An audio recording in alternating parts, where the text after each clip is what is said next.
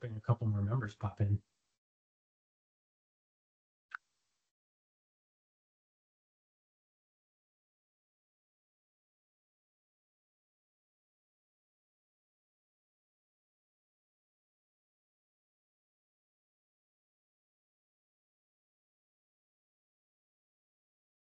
Well, it is time. We'll just go ahead and get started. Um, good afternoon now, everybody. Uh, this is a work session of the Anchorage Assembly. We are here, uh, today is November 1st, 2024. We're here to take up AM 857-2024, which is um, Executive Appointment Confirmation Hearing, Susie Marshall, Information Technology Director. Um, we are in a Teams environment, so uh, members, if you want to get in the queue, you text me or put a note in the chat there. Please note, though, that the chat is not a part of the public um, conversation. It's open meetings, so we ask that you make sure you ask all of your questions um, on the record and not in the chat. And otherwise, uh, Madam Clerk, would you please call out the roll? Yes, uh, members present right now are Chair Constant, Assemblymember Littlefield, Assemblymember Myers, Assemblymember Brawley, and Assemblymember Rivera. Right, and we'll let folks know if others join us. So um, again, we're here today to take up the confirmation hearing of Susan Marshall, again, as the IT director for the municipality. And our traditional process is we'll let the administration present the candidate and then the candidate to make comments for themselves. So Mr. Falsey, you have the floor. All right. Well, thank you, Mr. Chair. It is again today my great pleasure to reintroduce the Assembly to Susie Humphrey Marshall, Susan, uh, as she is officially known. Um, she has previously served as the director of the Office of Information Technology for the municipality, and we were quite delighted that she agreed to come back for a second stint. Um, for those who have reviewed her resume, you'll see that Susie has a varied background where she has served as CFO, CEO, in a number of different organizations, uh, and I will say that my experience working with Susie in my last go round was that Susie brought a very healthy and incredibly welcome customer service focus to the IT department. Uh, there are times when the central services of the municipality can become departments of no. There are other times when there's a breakthrough and they become departments of how do we get to yes. And Susie was definitely in the latter mode, which I could say was very well received by the frontline directors. Um, in this go round, where the Mayor LaFrance is pleased to put her forward again as a nominee to head OIT.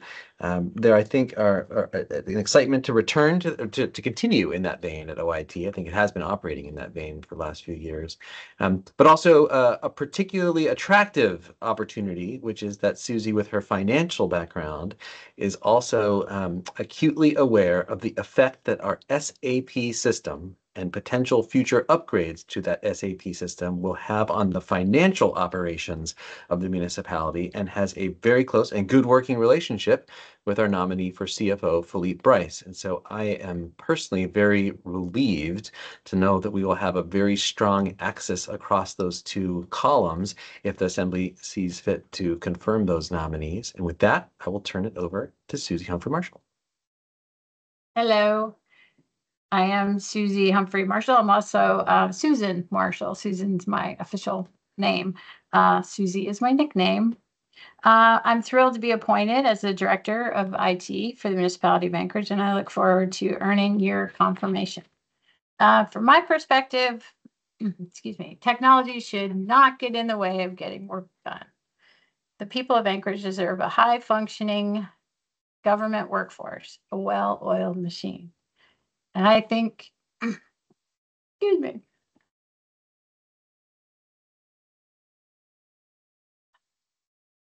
I'll get through this. Um, I think the IT department has the oil for the machine. So IT department workforce is solid and there's a lot going on in our shop right now. A few examples of some current IT uh, department efforts. Um, uh, security video camera network build out, um, upgrading SAP. And this is a commitment to make sure we keep technology tuned up. Uh, desktop upgrade to Windows 11, cell phone upgrades, uh, video conference technology updates, uh, network stabilization, um, cybersecurity training. Um, there's also some standard services that are not always associated with the IT department that I just kind of want to bring to light again. There's reprographics, where that's like bulk and specialized printing services. We also do, um, so for example, example, excuse me, your budget book. That came from Repro.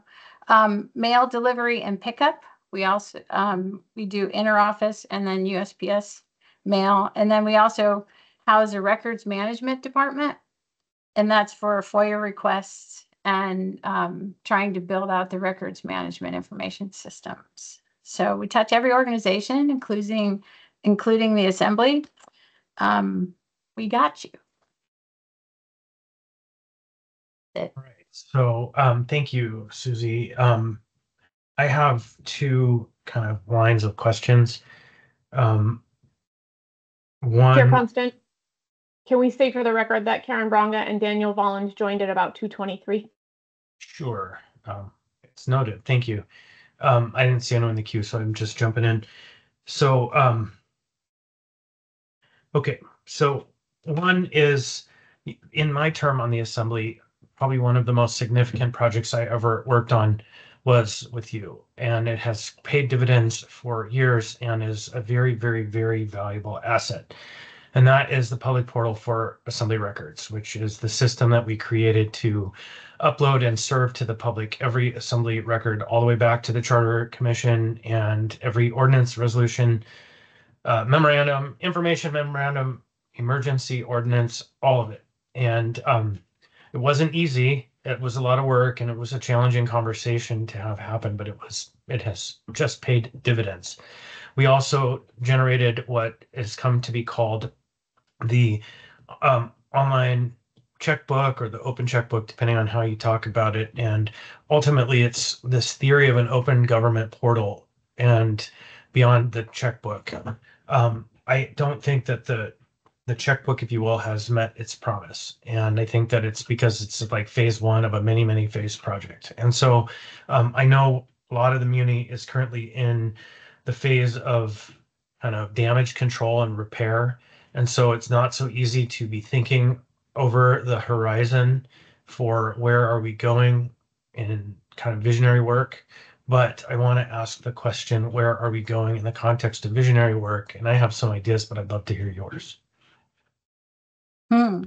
Um, visionary work. So definitely we want to make sure we have um, the tools, uh, the data available to the public.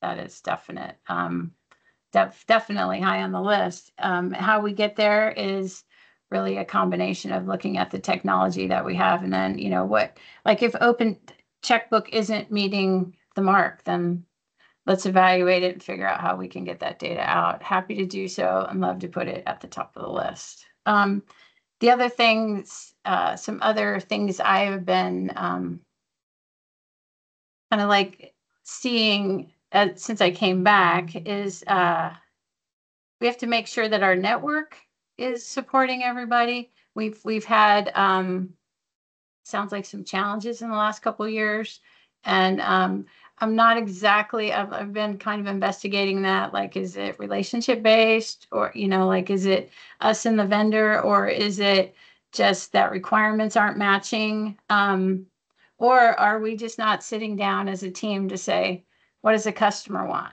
Because that that's that's what I do. I have this um like I should show it. Anyway, a little uh thing in my office every time we're in a meeting, I always make sure that it's uh, it says the customer, it's like a nameplate and and the, the conversation should always, in my perspective, is that we're a service organization. And just because there's some cool, fancy, shiny, techie object might not mean anything if nobody, if it doesn't help the conversation and help the workforce eh, or even help share information with the public. So um, I definitely am looking forward to getting back into that space and and trying to understand and, and do what I can to help. And um, and kind of I, I do think that what I what I noticed maybe what happened over the last well anyway what happened recently um, is that there might have I think there have been silos kind of put up within IT department and also IT and other departments.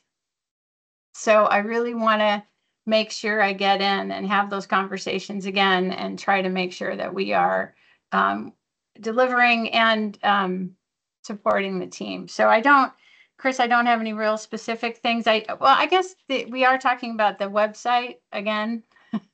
and um, that is a, a goal. Um, and it sounds like the mayor's office wants to really participate. Uh, I mean, I, I don't want to speak out of turn. I should probably, shouldn't have said that, but it sounds like that there's uh, interest and um, and really trying to make it more of a modern uh, access to our information. So, um, and I'm, you know, once again, That's super good. happy to hear that you liked what you got before. Oh, it's proved profoundly transformative for people all over. Um, okay, and I'll put a fine point and then yield the floor to the next Sure. question. So um, the the online checkbook project was painful, and resource constraints being what they are, and staff and all the pain that was happening at the time, it was difficult. And what we ended up with was a system that served data out of SAP, right? So it's simple reports generated by um, the system, and so and that's fine. Um, what isn't available at this time, which I and this is the mind bending part where smart IT people look at it and go, "Hmm, how am I going to solve that crazy puzzle?" Is I would like to begin the work to find a way to go from you're just getting the SAP record to you're able to get the contract itself a copy, a PDF version of it that you're looking at that record so that you can independently have the public record that it's going to take somebody two days to get back to you to say, I can get this to you in 10 days. It's going to take them two minutes to send it to you in an email, but they still wait 10 days or longer to give it to you when you should just have it. And so um, you can Hmm. imagine a mind bending function that would have to be created to go from uh, contracts in one silo of the Muni to uh, a data portal. And so that's one example of how I would like us to be thinking creatively about serving the public the records that they own. And we, if we can get ourselves out of the way, it would be a better government. Okay, so thank you. Next in the queue, I have Miss Brawley and then Miss Bronga. So Karen, oh, excuse me, Anna. Yeah. Um, hi, Susie. I'm glad Hi. to be uh, hopefully working with you soon.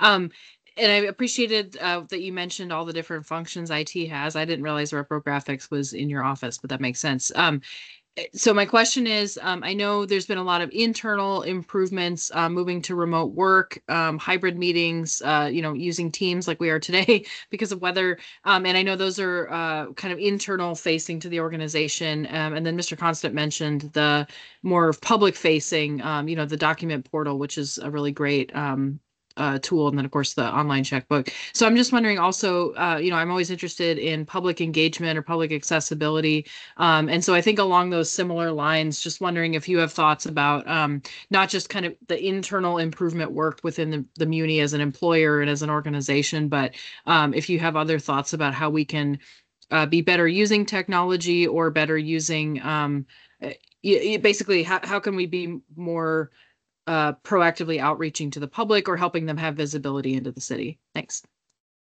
Hmm. Um, you know, I, I have not had a lot of headspace. I have not put a lot of thought into that, but that doesn't mean, um, that, I mean, it's, let's hear what your ideas are. I think that originally, like when, when, um, 2020, so COVID hit, there was this big thing about like, how do we communicate with the public online and how do we have a presence, but do it in, uh, being very sensitive to cybersecurity and making sure we weren't vulnerable. And then that was like a, a do we use Zoom? Do we use Team? I mean, there was like technology choices, and then there was um, a lot of debate about that and what we could broadcast or what we couldn't. Um, I, I- I don't I don't really have any like extra special ideas. I do know that people are really sensitive about um, I you know um, AI right now, and I think we need to probably be sensitive about what we're doing and how we do it and what we share. Um, you know what we we don't want to have a anyway. I think we're really careful about AI, and we make sure that that we double check how we use it and how we um, if we use it in communication with the public. You know, like if if there is a chat bot or is if there is a um, something like that, that we make sure that we are uh, being extremely sensitive um, to the data and that we don't just try to aggregate data that we that is um, PII or CJIS. I mean, we have a lot of security stuff that we have to constantly um, be aware of for any kind of application service. So I don't know if that answers your question, but I'm really um, mostly want you to know you got some ideas. Send them my way. I'm really um, would love to hear them um, and see what we can help improve. Yeah, thanks. And and I'll I won't bring up ideas now, but um I appreciate that. And also you bringing up one that there's a lot of internal work that you need to do, right? And just make sure things are functioning. And then yeah, the kind of note of caution when we have an idea, how do we manage that? So um yeah, so thank you. You bet. All right, thank you, uh, Ms. Moraga. Thanks. I, I had to laugh because I was the, I was chairing the famous um, community council meeting that got uh, Zoom bombed. and Right. so I was so new to Zoom, I didn't know what to do, but it was uh, it was something. Anyway, um, one of the things that I I hear from a lot of my constituents is that the um, assembly meeting is not easy for them to follow. And um, I, I keep thinking that a split screen type thing where um, we could be marking, you know, if we decide we're going to we're going to change the order of the day, that somehow that could be done on a screen that things are actually moving, so people that walk in and haven't heard we've changed the order can kind of follow where we are but having one screen that this is this is where we are on the full agenda Hmm. and um, i don't know if there's a way to make that happen um, and this is probably impossible but um, it'd be nice that if you if you couldn't come to the meeting and quite frankly they are they are marathons and if you have small children and they need to get to bed um, it would be nice to be able to have someone virtually like a teams type ability to testify where we can see them. It's it's a lot more powerful than the phone. And um, i don't know if that's anything that could be accomplished but those are things that i'm thinking of. And i am i am so appreciative of it at the municipality. It's they're you know when i have problems very responsive and um, it, it it makes a world of difference so i do thank thank the IT group immensely. Thank you for those words. They- They're a good crew. They really do want to help. Um, and I will, um, I can't remember what the answer was on the teams for the public, um, like the reason not to do that. I, I will research that though. Thank you. Yeah, I think that um, I'll just jump in there. Many of those discussions are internal to the assembly branch and we'd love to have you inside for some of those conversations. So, okay, Love to help. Yeah. uh, anyone else with questions? Okay, I don't see any more questions. You know, um, Susie, I, I don't want to dig too deeply into the deep dark past. Um, but we did have a circumstance that arose that you and I've talked about a bit with the previous director of IT that um, raised any number of security concerns relating to how information is accessed by the administration that is in the that's owned by the assembly. And um, I would love to hear a little bit about your theory on information security and um, you know whose whose records are they anyways. So Um, and you're thinking about, I just want to clarify, like, just in general about the records. Um, well, yeah, I can be are you specific. thinking more like your assembly records and who's got There access to was- that? Yeah, that there was a moment Okay. when it became pretty apparent that um, our emails were being accessed by members of the administration. It also Right. became apparent that um, security cameras were monitoring actions of the assembly by the administration through effectively IT systems. And so uh, there was a time when a fake policy was uploaded into um, the Muni policy world, especially the back end IT policies, or what I'm not exactly sure the label of practices, that was then purported to be an actual policy and was used to create the perception that our elections were tainted. And so over the last three years, I'm again, I'm in a new new deal. We have great administration, people we can trust. But systems are also a key part of that. Like trust is based on a system that protects you. Um, that's really the question. Like, how does this? How how should we be thinking about this in the context of you and your leadership of the department, in relationship to the past and not so much the future, but as a leadership of the branch, I have to pay attention to that kind of thing. Sure, sure. I think, um, one, I, I super, um, support the separation of duty. Like we, just because you have IT, it's, it's, it's, um, what, what do we have? We, ha- we definitely have a code of ethics for IT. And what we do is we make people, maybe what I'll do is make sure we revive that again. And, and so that people understand that just because you have access, maybe that's what, what happened is you forget because you can have access that you, you access it and you shouldn't. And we have very specific like guidelines in our code of ethics for IT. And maybe I could, I could share that with you. And then I'll also make sure that um, my team kind of circles back. Because a lot of times that's done when you're hired. So it probably is a good reminder. And I will make sure that our team does that and really um, uh, make sure that we have processes, approval processes um, for anybody trying to get access to things that they they don't have as a normal course of a job. Um, I would say, like in general, my staff is usually way too busy to sit around and try to read somebody's emails. You know, like it's it's their they're probably just trying to keep up with their own. But that doesn't mean. I, I mean, I appreciate that. Probably, if it if it did happen, it you'd have to be very intentional.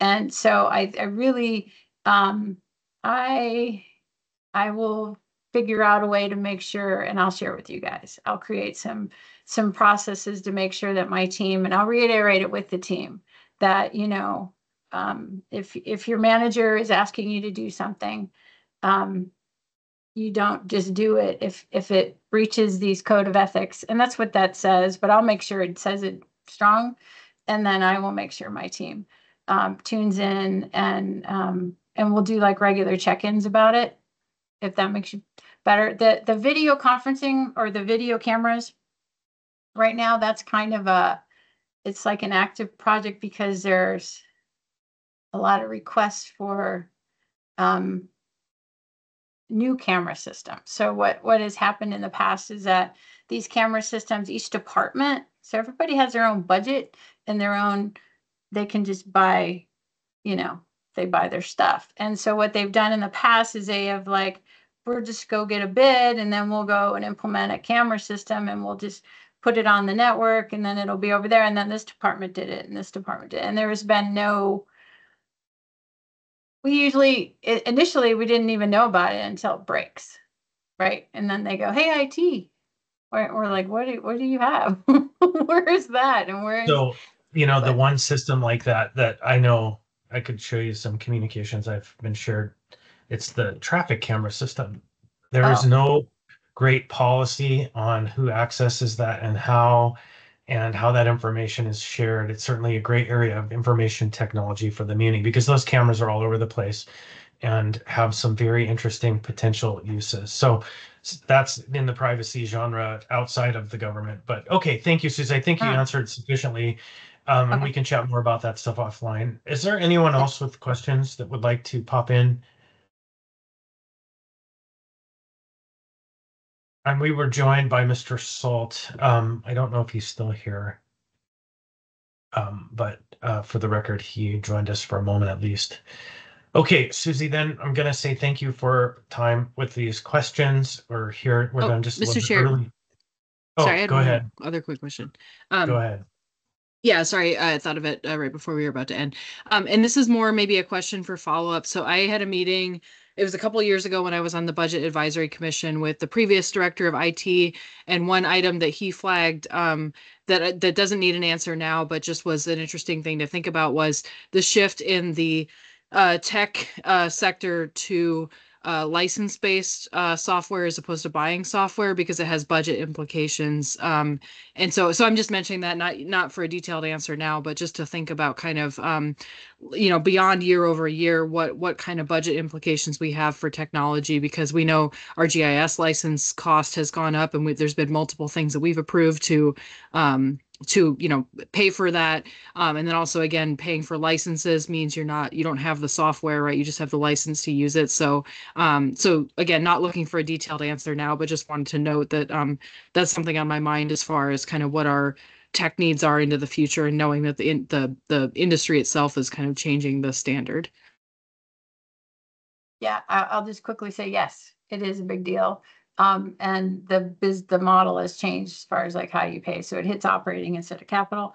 Um, but that's been that way probably for a good five years.